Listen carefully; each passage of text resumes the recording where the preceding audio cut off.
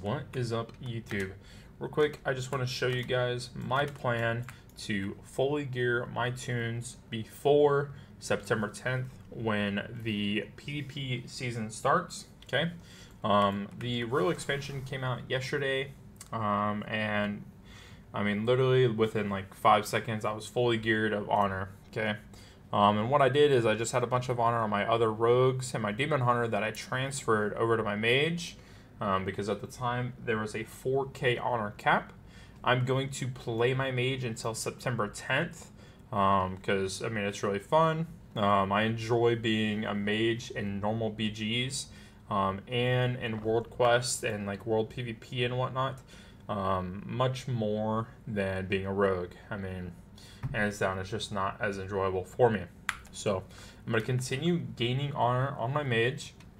Um, and then as I go, I'm going to use Vicious Flask of Honor, increase the gains by 15%. As I'm going, I'm going to send honor over to my other rogues and get them fully honor geared come September 10th.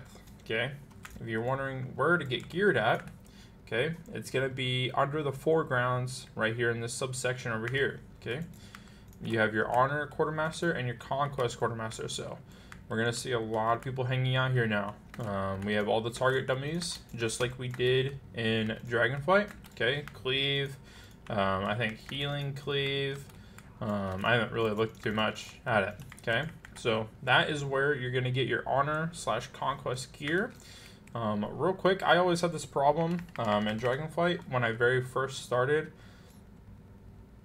Over here is where you're going to be placing crafting orders, okay? In this little section here. Um, this is going to be very important because we know a lot of people always go like engineering goggles for an extreme high stat of something. Um, so this is where your crafting orders will be placed. And then right up here is where the auction house is. These are going to be the three main spots that you as a PvP are going to be spending, okay? Um, other than that, I hope you guys have a really good season. I'm really looking forward to this expansion, to be honest, man. I'm really excited. Um, and I hope you guys are too. So, hope you guys have a wonderful season, and I will talk to you guys later. Peace.